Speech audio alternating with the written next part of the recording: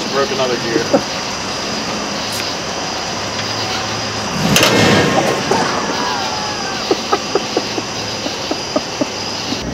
Let's try.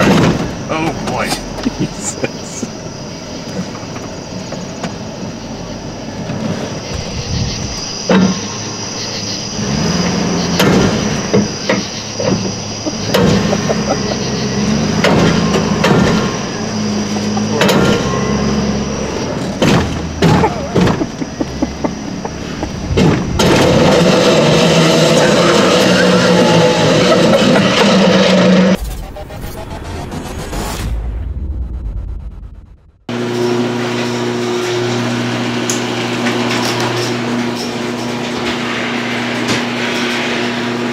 we go. What's up, guys? Big Kleib 34. Let me get rid of these. Coming at you with Cars and Kleib, the internet for your automotive hangover. Uh, every Monday, 4 o'clock Eastern Standard Time. If you're watching this video, hopefully by now last week's video got 5,000 thumbs up. I promise you guys that if it got 5,000 thumbs up, that I would get my head shaved and get a Dale Earnhardt 3 in the side of it. What? Parts update. I know you guys love seeing this. And uh, hold on, everything's a mess here. I'm just trying to make sure there's no addresses showing.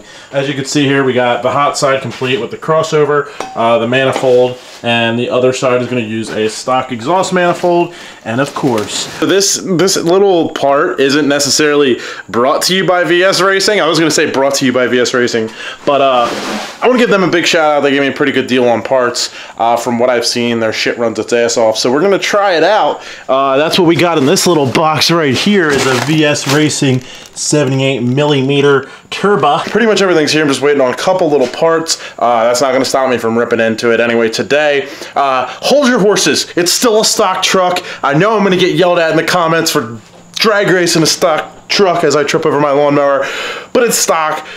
This is probably going to be the last time you guys are going to see it completely stock. Uh, next week, we should be cracking into the beginning stages and showing you what we're going to be doing to make this faster. I want to go fast. Last week, we got tuned.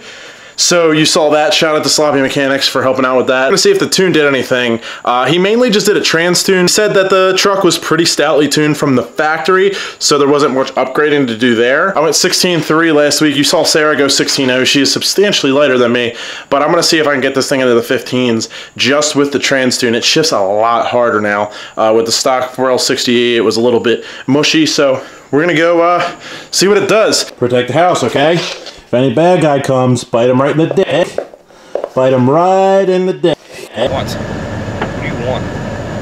We gotta go to the mall. I gotta drop these guys off to some girl. Fucking door handle. What?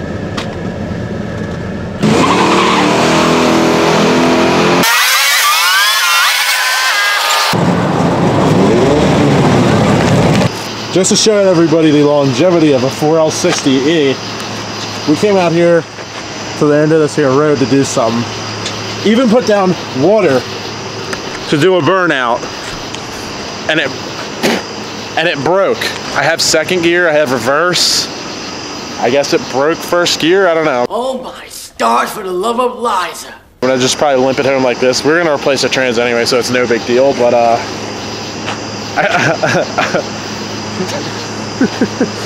so should I just try and do a second gear burnout? I mean, I'll, I'll get you home. All right, cool. Here, hold this.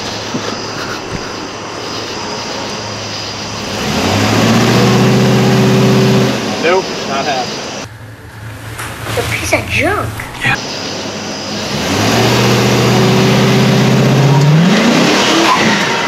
I think I just broke another gear.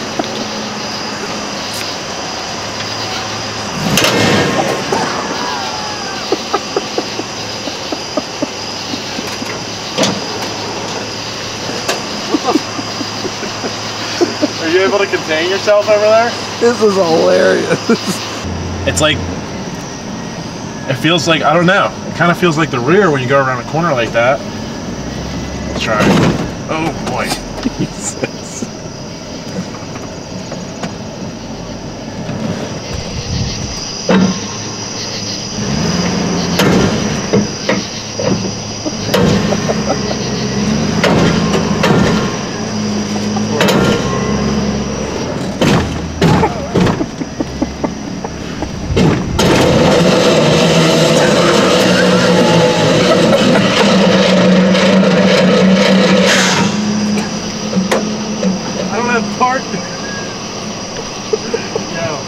Tread, the tread's just completely wet. I don't even have park now. Look. Great.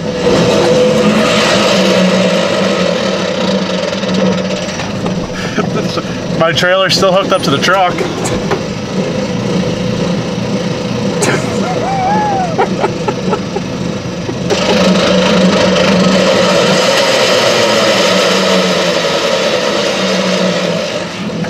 I can't. I guess it would be.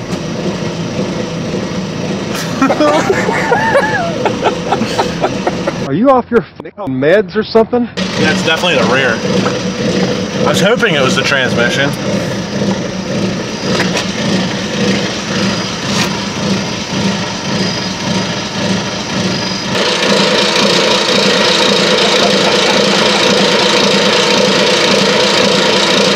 I'm not sure how it broke up the track, or didn't break up the track, but then it broke doing a burnout on the street. But I guess uh, that rear was going to go either way. Well, let's take into consideration how you drove it to and from the track. That don't have nothing to do with it. Nothing at all. Come on! There you go. Look at you.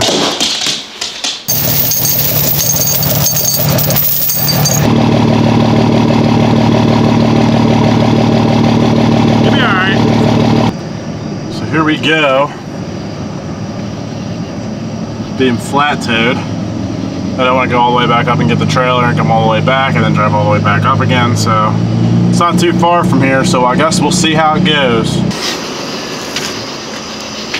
That's what happens when you try and do a burnout with a 4L60E.